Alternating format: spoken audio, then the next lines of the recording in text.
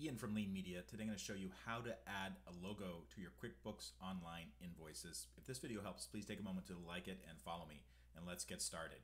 Go to QuickBooks Online, click on the gear icon, which is your settings, and then you will see an item that says All Lists. Select that.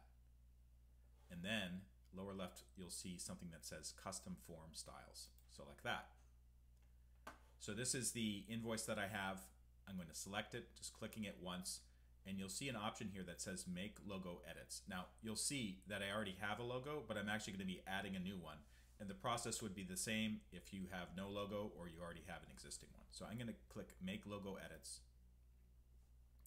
So there's a little plus icon, look for that, and select plus, and you'll see this uh, kind of a dash square with a plus in it. Click on that and then select a logo. So here's a logo that I want to use.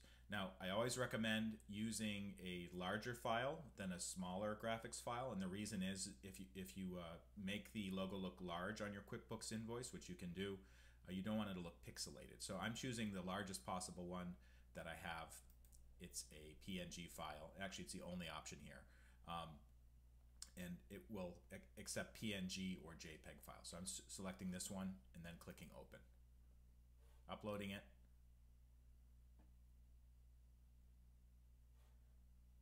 Selecting it, and then clicking Save.